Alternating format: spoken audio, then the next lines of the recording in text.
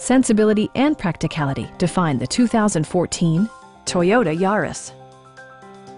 It features an automatic transmission, front-wheel drive, and an efficient four-cylinder engine. Top features include a split folding rear seat, a trip computer, rear wipers, and much more.